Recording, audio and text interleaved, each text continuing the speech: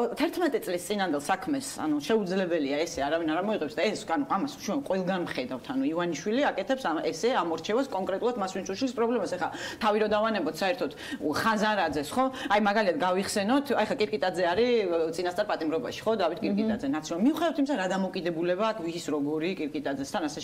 ანუ ის ხო ვიცით რომ მაგიტომ მაგიტომ ზის რომ ნაცია, ხო? იმიტომ ხო გახსოვთ მეორე თემა კიდე, როცა ქართული ოცნების ქალ დეპუტატებს თავს ვიღაც დაესყადა დედევიშვილი იყო რომ აი ნაცები ქალ უმწევ ქალებს დაესხნენ თუ რაღაც თუ ინაუგურაციის დღეს აღარ მახსოვს ზუსტად, მაგრამ ფაქტია რომ ამ ამ ფაქტს კონდა ადგილი. დააკავეს ეს ადამიანი.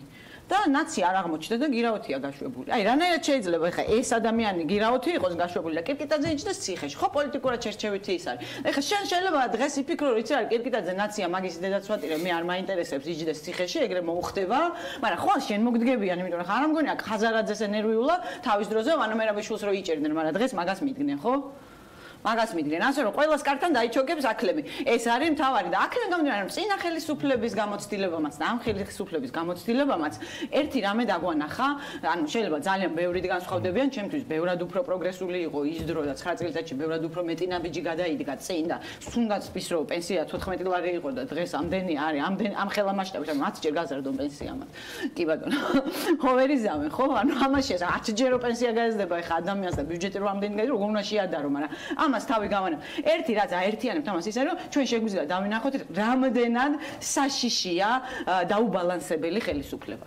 და თვითონ იმ ხელისუფლებას რა ემართება, როდესაც ის დაუბალანსებელია. აი ეს დასკვნა შეგვიძლია ორივე ხელისუფლების ზარალდება რიგითი მოქალაქე და იმ ხელისუფლებას აუცილებლად მაინც უწევს სახში წასვლა, ოღონდ ბევრად უფრო ცუდად და ბევრად უფრო ცუდი ფორმებით, ვიდრე წავიდოდა იმ შემთხვევაში ეს ყველაფერი დაბალანსებულად წყნარად მოხდარიყო და ადამიანებს სამართლის პოვნა სასამართლოში შეძლებოდა და გამწარებულები არ ყოფილიყვნენ გინა წინა ხელისუფლებას ხელისუფლებას და გინდა დღეს ახლა ესე რო წავლენ ამათზე.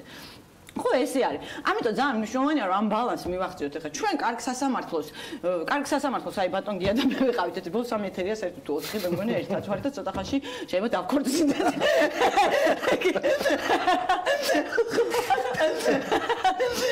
ხო და მოკლედ აქ აქ არის ერთი რაღაცა რომ სანამ სასამართლო ისეთი გვექნება და სასამართლო ძალიან რთულია ჩვენ რო გქონდეს კარგი, იმიტომ რომ კარგი სისტემა რო არსებობდეს, ამისთვის ჩვენ უნდა შევძუ, ანუ რაღაც გამოცდილება უნდა არსებობდეს კარგი სისტემის რაღაც ტრადიცია, კარგად გაგაცინე, ხო? ჯერ კიდე ჯერ კიდე მეცინე. უკვე დავინახე მოჭრილი ეს ფრაგმენტი ინტერნეტში და ვირუსი გავრცელებული. ხო, რა წინადადება გაუკეთეთ თამარ ჩერგოლეიშვილმა გია აბაშიძეს. სასაცილო თემაა საერთოდ ვაპარაკობთ, მაგრამ ნუ ხანდახან ახლა როცა ამდენი უბედურება ტრიალებს რა ვქნათ, თავის ხوارმა ვიკლავთ. ცოტა გავიღიმოთ. ხო და მოკეთ ესეთ ის არის, საშიში არის ეს ახლა ჩვენ კი ბუნებრივია ნორმალურ დემოკრატიულ სახელმწიფოებში შეიძლება ერთი ძალა იყოს ხელისუფლებაში, მაგრამ იმას სასამართლო აბალანსებს. და ჩვენ შემთხვევაში შეუძლებელია რომ შემდეგი 10-20 წელი სასამართლომ შეძლოს და ხელისუფლება დააბალანსოს თუ იქ ისეთი რადიკალური რეფორმები არ მოხდა, რო თქვა რაღაც აი უცხო ბრიტანელი სასამართლო არ განსჯი, ბრიტანული სასამართლო არ განსჯის, ახლა იმას რა ქვია ხაზარაძის საქმეს. აქედან გამომდინარე ძალიან მნიშვნელოვანია რომ პოლიტიკურმა ძალებმა აბალანსონ ერთმანეთი და ამ მდგომარეობიდან გამოსავალი სწორედ იმიტომ რომ სწრაფი გამოსავალი ხო გვინდა რომ სწრაფად გამოდიხარ ნებისმიერ